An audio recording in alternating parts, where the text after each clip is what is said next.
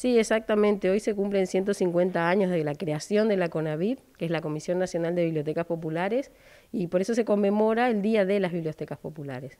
Nosotros hoy tenemos planificado para conmemorar este, este aniversario una liberación de libros. Eh, la liberación de libros consiste en liberar libros. Nosotros tenemos cierta cantidad de libros que por diversas razones no se incluyen en nuestro catálogo, en nuestro fondo bibliográfico, y lo que hacemos es liberarlos.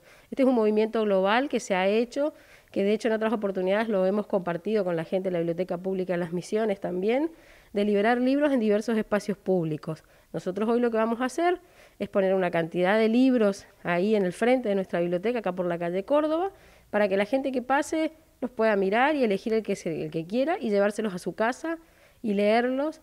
La idea es que la gente lea, que pueda acceder. Muchas veces uno no lee porque no tiene dinero para poder comprarse un libro. En esta oportunidad, bueno, van a poder llevárselos. La idea es que los miren, que pasen. Como vos bien decías, no podemos hacer actividades como hacíamos, como estábamos acostumbrados a hacer nosotros acá en la Biblioteca Popular, que desde kermés, fiestas, diversas actividades. Entonces, bueno, vamos a concentrar en el día de hoy, de 9 a 16 horas, esta actividad para que bueno, la gente se acerque y sin necesidad de que nos amuchemos, digamos, podamos compartir este día. ¿Libro de qué tipo de género la gente va a poder encontrar? Hay de todo, hay de todos, hay libros, sobre todo fundamentalmente literatura, tenés libros, hay libros muy, muy nuevos, libros un poquito más viejos, pero hay de todo tipo de material. O sea que está bueno que por ahí la gente, que si por ahí tiene un tiempito y anda acá por el centro, que se acerque y bueno, se ponga a mirar qué cosas hay.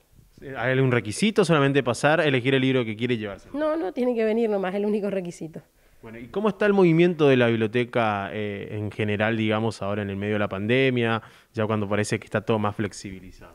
Mira, nosotros continuamos específicamente con lo que es atención al público para préstamo domiciliario. No se puede entrar en la sala, no se puede entrar a estudiar, no hay actividades, ni el rincón infantil, ni los talleres de lectura, o sea, no hay ninguna actividad ni cineclub, nada. Todo lo que implique que la gente se amuche, que la gente se junte, están suspendidas.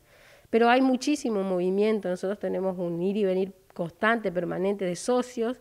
Le recordamos a la gente que para poder llevarse los libros a la casa, a domicilio tienen que asociarse. Para ello tienen que venir con el documento y pagar una cuota anual que es mínima porque son 800 pesos por año para el socio común y para los estudiantes y niños es de 400. O sea que no es, no es mucha la, la plata y es en este momento lo único que tenemos habilitado es el préstamo domiciliario de libros. ¿Se sumaron nuevos socios eh, durante esta pandemia desde que abrieron? Sí, sí, exactamente. Tuvimos, por suerte se estuvo haciendo, igual estamos empezando, pensando hacer una, una campaña fuerte para captación de socios, pero durante la pandemia se sumaron varios socios nuevos. tenemos ahora la posibilidad de pagar a través de Mercado Pago la cuota, o sea que en muchos casos hay gente, gente que desde la casa puede asociarse, completa el formulario en nuestra página web y puede realizar el pago sin necesidad de venir hasta la biblioteca.